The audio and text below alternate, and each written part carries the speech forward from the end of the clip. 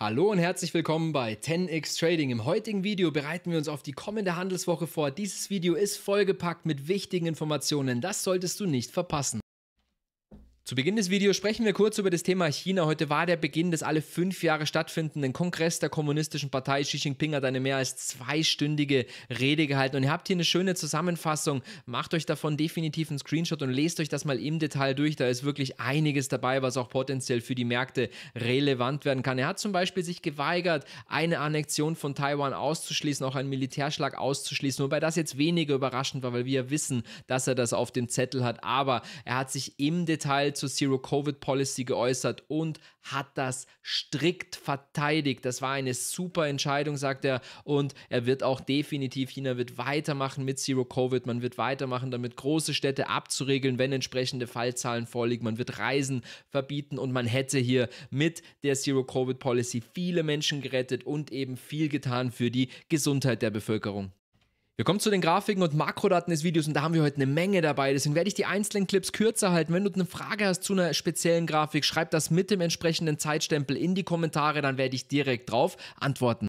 Wir kommen zu einer Grafik vom Sentiment Trader, dem sogenannten Composite Washout Modell und das klingt natürlich vielsagend, dann da haben wir auch aktuell ein sehr, sehr intensives Signal getriggert, muss man sagen. Ab 50 spricht man hier vom entsprechenden Washout. Wir hatten das zuletzt im Juli gesehen, kurz bevor dann die massive August-Rallye begonnen hat. Auf dem aktuellen Level allerdings 70, da waren wir zuletzt tatsächlich kurz nach dem Corona-Crash und das ist schon ein gewisser Indikator, dass wir im Umfeld einer Bodenbildung waren zuletzt und eben vor vor einer möglichen nächsten Rallye stehen könnten.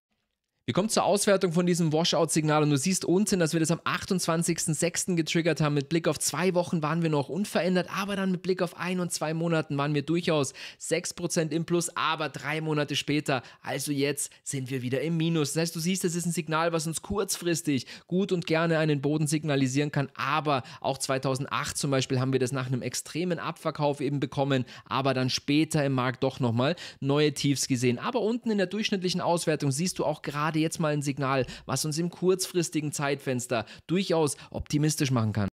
Wir kommen zu einer weiteren Grafik vom Sentiment Trader, die uns aktuell eine interessante Divergenz zeigt. Und zwar hat der S&P 500 zuletzt ja nochmal neue Tiefs gemacht, ganz klar. Aber wir haben zuletzt bei den Tiefs im September mehr als 90% Aktien gesehen im S&P 500, die neue Tiefs gemacht haben, neue 21-Tage-Tiefs. Aber aktuell waren es nur noch 30%. Das heißt, du siehst hier eine ganz klare Divergenz. Die letzten Abverkäufe wurden nicht mehr vom breiten Markt mitgetragen.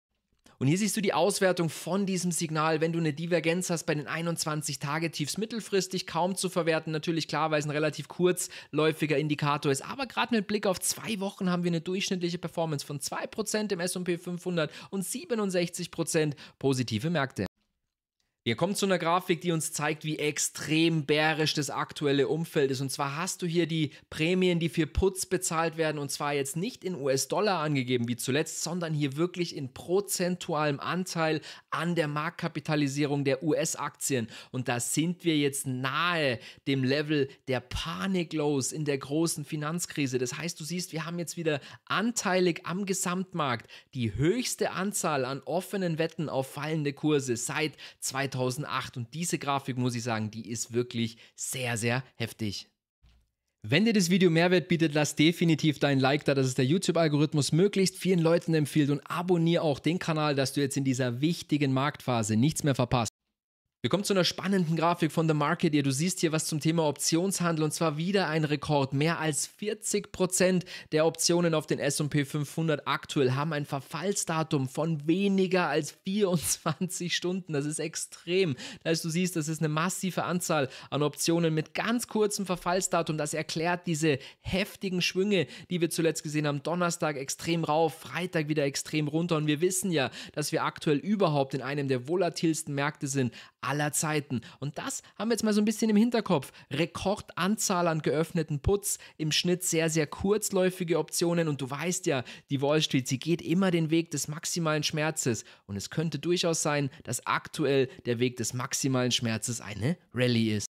Und hier siehst du jetzt das angesprochene Liquiditätslevel im Markt. Das ist die Erklärung, warum die Märkte deswegen so erratisch unterwegs sind. Schau dir den Bereich an zwischen in der Mitte 2020, 2021. Das waren satte und volle Märkte. Da war Liquidität ohne Ende da. Und seit Beginn der engen Geldpolitik natürlich wurde diese den Märkten immer mehr entzogen.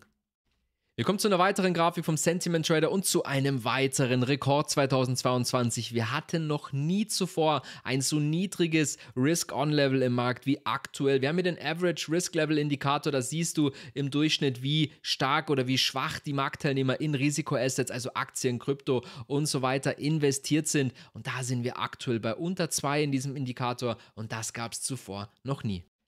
Wir kommen zu einer weiteren Grafik, die uns das Exposure in Aktien, also das einem Risiko ausgesetzt sein, das investiert sein in Aktien zeigt. Und da sind wir auch derzeit auf den niedrigsten Level seit den 90er Jahren. Und da muss man aber auch darauf hinweisen, oben, wenn du mal schaust, wir haben diese Signale nicht unbedingt immer im Bereich des Bodens bekommen. Wir haben es gerne bekommen, bevor eine gewisse Rallye gestartet ist, keine Frage. Aber wir haben danach auch sehr, sehr gerne nochmal neue Tiefs gesehen. 2008 haben wir es sogar in der Nähe der Tops gesehen. Das heißt, du siehst, es kann auch einen guten Grund haben, warum der Markt aus Aktien rausgeht, nämlich den, dass eben potenziell noch etwas bevorsteht.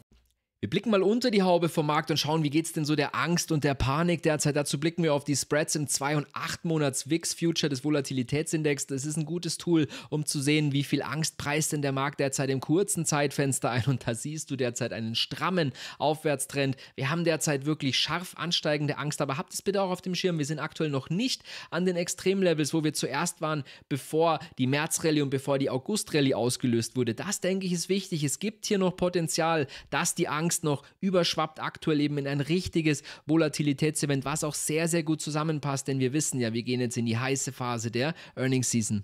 Aber es ist auch wichtig dazu zu sagen, dass wir aktuell definitiv näher dran sind an guten Kaufgelegenheiten als an der Gier, die wir zuletzt im August gesehen haben.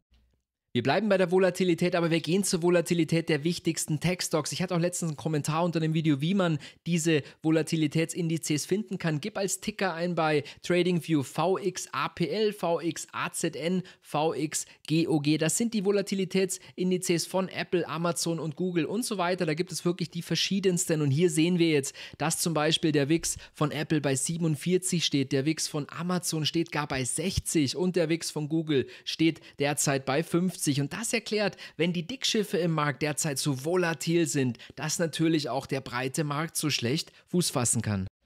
Man muss aber hier auch dazu sagen, wir wissen ja mittlerweile an den Märkten, wann der Zeitpunkt gekommen ist, sich langsam aber sicher gewisse Titel auf die Watchlist zu packen. Und zwar nicht dann, wann die Leute gierig sind, sondern eher da, wenn die Angst im Markt ist. Wir kommen zu einer Grafik, die uns zeigt, dass die Earnings-Erwartungen aktuell durchaus stark zusammengekürzt sind. Hier eine Grafik von Bloomberg, nämlich um 7%. Und das ist eine der stärksten Preseason-Cuts, also Zusammenkürzungen vor der Earnings-Season, könnte man sagen, seit vielen Jahren. Wichtig zum Wissen, dass die Erwartungen, und wir haben es jetzt letzte Woche zum Beispiel auch gesehen, BlackRock konnte die Erwartungen schlagen, die Banken, gut, Banken natürlich im aktuellen Umfeld ein anderes Thema, konnten die Erwartungen schlagen. Aber das müssen wir jetzt auf dem Schirm behalten. Die Earnings-Erwartungen sind zurückgenommen worden worden. Das kann den Firmen die Möglichkeit geben, diese Erwartungen zu schlagen.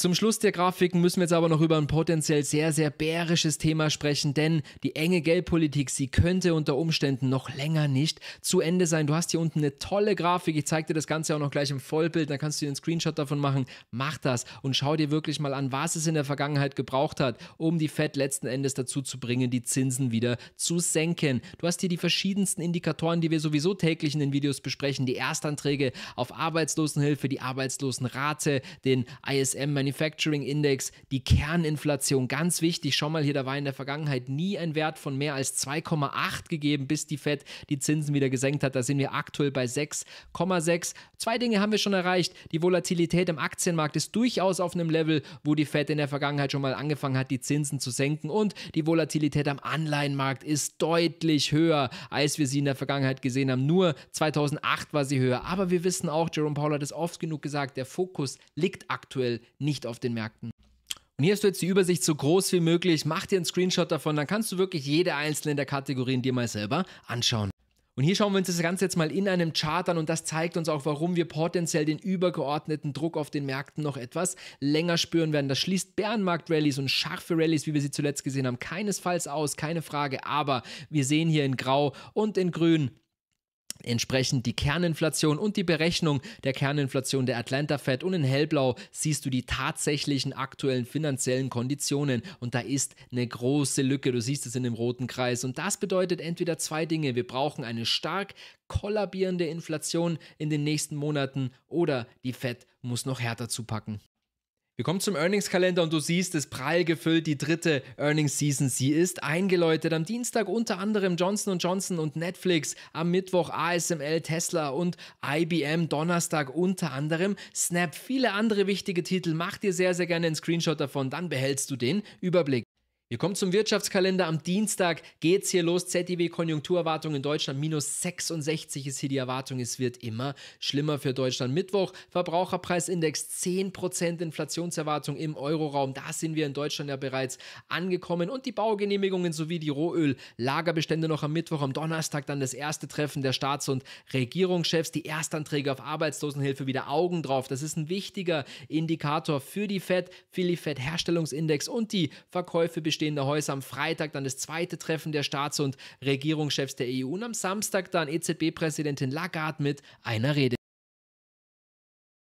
Wir kommen natürlich auch in diesem Video zu den Charts und wir blicken zuerst auf die Verzinsung der Staatsanleihen. Wir sehen hier bei der 2 und bei der 10-Jährigen jeweils den Ausbruch aus dieser bullischen Konsolidierung, Bullenfahne und wir haben bei der 10-Jährigen auch ein Mehrjahresverlaufshoch generiert mit dem Freitagshandelsschluss. Wir sind bei 4,02 Prozent aus dem Handel gegangen. Das öffnet jetzt natürlich hier die Range zwischen 4 und 4,25 Prozent und das wäre sehr, sehr wichtig, dass wir da wirklich im Rahmen der nächsten Woche die die Zehnjährige wieder drunter drücken können. Denn klar ist, wenn wir uns hier wirklich auf den Weg machen zu den 4,25 Prozent, dann haben die Märkte nochmal mehr Korrekturbedarf. Und auch die Zweijährige ist natürlich auf mehr Jahreshoch am Freitag aus dem Handel gegangen mit circa 4,5 Prozent. Die Zehnjährige bei 4 Prozent, Zweijährige bei 4,5 Prozent. Das deutet uns eine invertierte Zinskurve an, Rezessionsindikator von extrem stark invertierten 0,5 Prozent.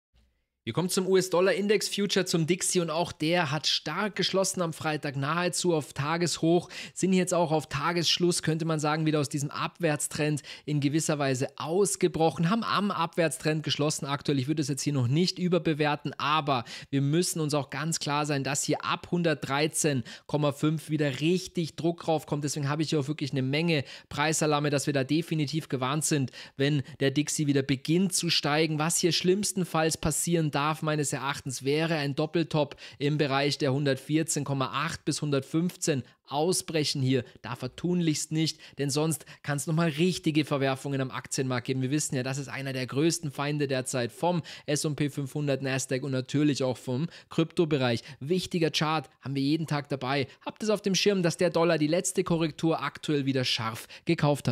Wir kommen zur Marktbreite, zu unseren sogenannten Washout-Indikatoren. Wir haben hier links die Aktien im S&P 500 über der 50-Tageslinie, rechts im Bild hast du die Aktien im S&P 500 über der 200-Tageslinie. Bei den 50-Tageslinien sind wir derzeit bei 10% der Aktien, die noch drüber sind. Bei der 200-Tageslinie sind wir bei 14%. Das sind extrem niedrige Werte. Machen wir uns da nichts vor. Langfristig gesehen durchaus interessante Zeitpunkte, aber kurzfristig zeigt uns vor allen Dingen der 50-Tagesbereich an, dass wir da zuletzt bei unter 3% wieder waren. Wir hatten dann eine schöne Rallye gesehen, du weißt es, im Rahmen der letzt, vorletzten Woche, aber aktuell sind wir hier wieder ein bisschen auf dem absteigenden Ast und das ist jetzt wichtig für uns, dass wir im S&P 500 gleich bei den Charts ganz genau darauf achten, auf welche Schwellen es jetzt ankommt, welche Levels wir verteidigen müssen und ab welchen Levels wir zur Downside extrem vorsichtig sein sollten. Wir kommen zum Volatilitätsindex auf den S&P 500 hier jetzt im Wochenchart, dass wir uns mal das langfristige Bild anschauen. Du siehst hier links, das war Corona, da haben wir den WIX gesehen auf 85, absolute Extremlevels. Da war wirklich die Angst kaum noch zu messen mit diesem Volatilitätsindex. War auch der höchste Stand seit dem 2008er Crash. Aber du siehst jetzt hier meines Erachtens eine durchaus gefährliche Entwicklung hier im WIX. Und erinnere dich mal am Anfang, Apple ist bereits bei einem WIX von knapp 50, Amazon bei 60. Das heißt, die tragenden Säulen im S&P 500 und im Nasdaq, die stehen bereits deutlich höher in der Volatilität und das erklärt auch so ein bisschen, warum der breite Markt sich hier einfach nicht entspannen kann. Wir sehen ihn jetzt hier seit mehreren Wochen über den 30. Wichtig, wir haben ihn jetzt auch seit mehreren Wochen auf Schlussbasis im Wochenkurs über den 30 und das muss für uns ein Warnsignal sein, dass es hier jederzeit, er kann sich jetzt hier ein Top suchen, keine Frage. Wir haben das ganze Jahr über 2022 nie einen Wix gesehen auf Wochenschlussbasis über 35, keine Frage. Es kann ein weiteres Mal sein, dass wir bereits das Top im WIX gesehen haben, aber und deswegen ist es so wichtig, dass wir die Levels im S&P 500 kennen. Es kann hier auch, wenn er sich hier wirklich so einen Support sucht über mehrere Wochen, jederzeit zum Liquiditätsevent, zum Volatilitätsevent kommen, dass der WIX hier nochmal extrem nach oben ausbricht. Das wissen wir aber auch hier oben. Da finden wir dann wirklich die langfristigen und sensationellen Kaufgelegenheiten.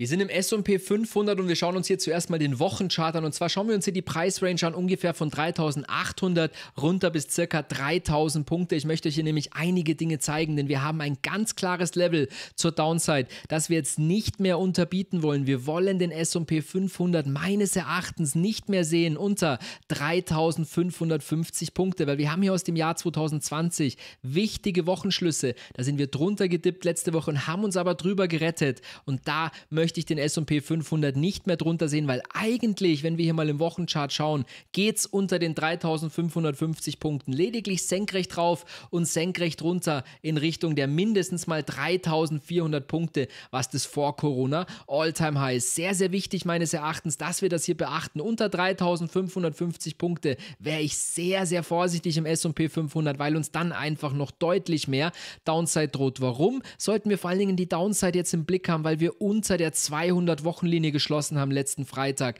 Die war bei circa 3600 Punkte. Da waren wir auch sehr, sehr lang drüber im Rahmen der Woche. Aber eben mit den Abverkäufen kurz vorm Freitagsende haben wir drunter geschlossen bei circa 3583 Punkte. Das heißt, habt diese zwei Werte auf dem Schirm. Unter 3550 Punkte wird sehr, sehr gefährlich und wir wollen den S&P 500 im Prinzip deutlich über den 3600 Punkten sehen, weil dort verläuft die 200-Wochen-Linie. Das ist jetzt noch nicht unbedingt ein K.O.-Kriterium, das wir da drunter geschlossen haben, denn hier die erste Woche, in der wir die 200-Wochen-Linie aktiviert hatten oder angegriffen hatten, das war am 26. September in der Woche. Da haben wir auch knapp drunter geschlossen, haben dann schöne Rallye gesehen im Nachhinein von den Tiefs vom Freitag, dann entsprechend 7% Rallye. Das kann ganz klar hier wieder passieren. Ich habe es dir am Anfang gesagt, es gibt durchaus Indikatoren, die auf eine gewisse Erholungsbewegung hindeuten, aber werde wirklich sehr, sehr vorsichtig, wenn du siehst, dass der S&P 500 nicht mehr über die 3600 Punkte kommt und vor allen Dingen sollten wir wirklich uns zur Downside absichern, wenn wir ein Long-Portfolio haben oder potenziell sogar über eine Short-Position nachdenken, wenn der S&P 500 jetzt im Rahmen der nächsten Tage unter die 3500 550 Punkte bricht. Wenn dir das Video Mehrwert bietet, lass definitiv dein Like da und kommentier auch sehr, sehr gerne unter dem Video. Damit kannst du nämlich aktiv die Reichweite erhöhen. Wir schauen uns hier noch den langfristigen S&P 500 Chart an. Das wurde sich letztens auch in den Kommentaren gewünscht, denn es gibt ja hier diesen sensationellen Aufwärtstrend. Hier links im Bild siehst du das Tief nach der großen Finanzkrise, Berührungspunkt im Oktober 2011, Berührungspunkt 2016, 2018 mit der scharfen Korrektur. Corona sind wir knapp drunter gedippt, aber wurden dann hier, wir wissen es, von der Fed gerettet und sind sofort wieder drüber gestiegen. Das heißt, das lasse ich auch übergeordnet als Berührungspunkt gelten. Und du siehst, wenn wir hier ein weiteres Mal in den Bereich von diesem Trend dippen würden, dann hätten wir im S&P 500 noch Korrekturpotenzial in die Richtung 3200 Punkte. Und du kennst ja mittlerweile die Aussage von der Bank of America, ab 3600 Punkte leicht knabbern, bei 3400 Punkte, da wird stärker gekauft und unter 3200, 3200 bis 3000, da schluckt man den ganzen Köder. Das heißt, du hast hier noch definitiv, wenn wirklich alle Stricke reißen, Downside-Potenzial von ca. 13% im S&P 500 der Trigger und dann können wir uns viel Ärger zur Downside ersparen. Das ist und man sieht es hier meines Erachtens auch eindeutig, wenn wir jetzt hier wirklich den Bruch unter die 200 Wochenlinie bestätigen und vor allen Dingen auch den Bruch unter die 3550. Jetzt blicken wir aber noch kurz auf den Tageschart im S&P 500 und der gibt uns zumindest im kurzen Zeitfenster einen gewissen Grund für Optimismus, denn wir sind hier am unteren Bereich. Du siehst es eindeutig, perfekt respektierter Abwärtstrend das gesamte Jahr 2022. Die Tops eindeutig definiert. Die Böden, das immer sehr, sehr gerne im Rahmen von Abverkäufen in gewissen Kapitulationen mal kurz durchgebrochen, haben wir immer wieder gesehen. Das heißt, es kann hier durchaus noch ein bisschen tiefer gehen, keine Frage, aber wir hatten hier letzten Donnerstag ein gewisses Kapitulationsevent unter diesen Trend. Wir haben wieder drüber gekauft und jetzt greifen wir ihn von oben wieder an und deswegen ist es jetzt so wichtig, prägt dir das gut ein, was du hier gerade siehst, dass wir, weil ich zoome jetzt rein und zeige dir hier dieses wichtige Level von 3550 Punkten, das muss hier meines Erachtens halten, denn wenn wir hier mal vom Tief im Donnerstag ans Hoch rangehen, dann siehst du auch, dass wir hier ganz im Rahmen sind des 61er Fibonaccis aus dieser kurzen Bewegung, recht viel tiefer als 3570, 3560, tiefstens eben diese 3550 Punkte möchte ich den S&P 500 hier nicht mehr sehen, weil wir eben sonst deutlich unter diesem Trend sind. Und solange wir das hier verteidigen können, dieses Level und hier uns wieder reinretten können, wie wir es zuletzt hier immer wieder gesehen haben, kann der S&P 500 jederzeit an die Herzlinie laufen. Das wäre hier in etwa ein Kursziel von 3550 oder potenziell sogar ans Top des Trendkanals ranlaufen. Das wäre dann eben sogar ein Kursziel von potenziell an die 4000 Punkte im S&P 500. Habt mir bitte die 3550 Punkte auf dem Zettel. Das ist aktuell alles, an was wir uns festklammern müssen. Denn eins ist klar, wenn diese Monsterkerze letzten Donnerstag eine Bärenfalle war und wenn die Stops, die hier gesetzt wurden in die Long-Richtung, wenn die brechen, dann gibt es nochmal eine Welle zur Downside. Und zur Vollständigkeit halber natürlich noch das eindeutige Wochentief. Das waren am Donnerstag 3491 Punkte im SP 500. Wir kommen zum Nasdaq 100 und da können wir es relativ kurz machen. Da ist meines Erachtens ein extrem wichtiges Level, dass wir den Bereich, den wir aktuell angelaufen sind im Nasdaq, halten können. Unter 10.700 Punkte macht er mir Sorgen, der Nasdaq. Ganz klar, da habe ich das erste Ziel zur Downside bei circa 10.300 bis 10.380 Punkten, aber dann auch relativ schnell Ziele zur Downside um die 10.000 Punkte, potenziell sogar 9.500 circa. Wobei ich hier durchaus das Vor Corona All-Time-High sehr, sehr wichtige achte bei ca. 9763 Punkte. Seid mir beim Nasdaq zur Downside vorsichtig, der ist ja schon scharf abkorrigiert, der ist hier auch schon bereits wenn wir das mal rausnehmen und gehen hier wirklich tiefer rein, dann siehst du, der Nasdaq ist jetzt wieder ganz in der Nähe dieser Trendlinie, die zuletzt gut funktioniert hat. Ein bisschen drunter dippen darf er, aber ich möchte ihn eigentlich ungern unter den 10.700 Punkten sehen und wo ich ihn natürlich auf gar keinen Fall sehen will, ist unter dem Tief vom letzten Donnerstag. Wer das sich notieren möchte, das sind exakt 10.433 Punkte. Wenn das angegriffen wird, dann bricht der Nasdaq auf neue 52 Wochentiefs, übergeordnet sogar auf neue Tiefs seit Juli 2020. Und dann greift er, wie gesagt, die Levels an, ums Corona All-Time High und natürlich dann auch den Boden dieses aktuell sehr schön respektierten Trendkanals, ähnlich wie beim SP 500. Fast die gleiche Struktur, nur dass der Nasdaq hier noch höher steht in diesem Trendkanal. Und da sind natürlich auch die Ziele zur Downside exakt in diesem Bereich um die 9700 Punkte. Sei vorsichtig und hab natürlich analog dazu die Ziele im SP 500 im Blick, die ich dir gerade genannt habe.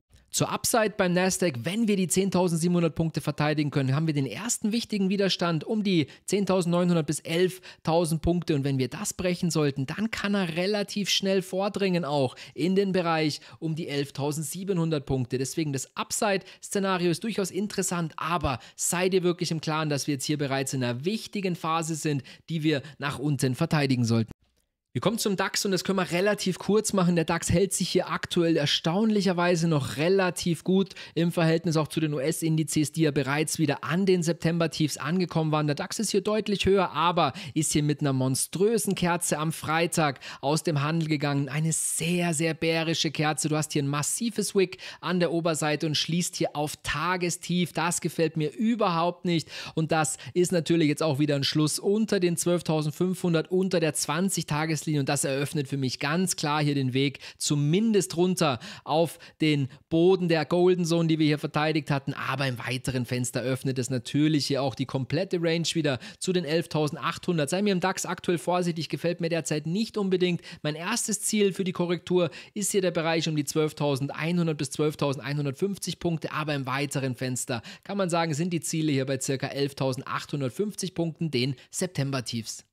Abschließend kommen wir noch zum Bitcoin. Der wird sich natürlich analog verhalten zum Nasdaq und zum S&P 500. Deswegen können wir die Analyse relativ kurz machen, insbesondere weil der Bitcoin aktuell sich wieder zum Stablecoin entwickelt. Wir sind festgetackert bei den 19.100 Punkten. Wir hatten letzten Donnerstag natürlich hier die Volatilität, die maximale Volatilität. Wir haben nach unten sehr, sehr viel Liquidität abgeholt im Bereich um die 18.000 Punkte. Deswegen ist völlig klar, wenn wir unter die 18.000 Punkte brechen, dann wird es sehr, sehr gefährlich. Und sobald sobald wir über die 19.500, 19.800 ausbrechen können, wirklich mal endgültig ausbrechen können, dann haben wir eine massive Rallye nach oben zu erwarten. Das heißt, der Bitcoin aktuell in der Entscheidungsphase, Kurse unter 18.800 sind ein erstes kleines Warnsignal, Kurse unter 18.5 und tiefstens 18.000 sollten uns deutlich alarmieren beim Bitcoin. Ich bedanke mich vielmals, dass du das heutige Video bis zum Schluss geschaut hast. Schau mal in die Videobeschreibung. Dort findest du die Möglichkeit, Mitglied zu werden bei 10x Trading. Dadurch bekommst du Zugriff zum Premium-Bereich im Discord, wo du jederzeit Anfragen an mich stellen kannst für Aktienanalysen. Ich bedanke mich vielmals für deine Aufmerksamkeit und sage ciao.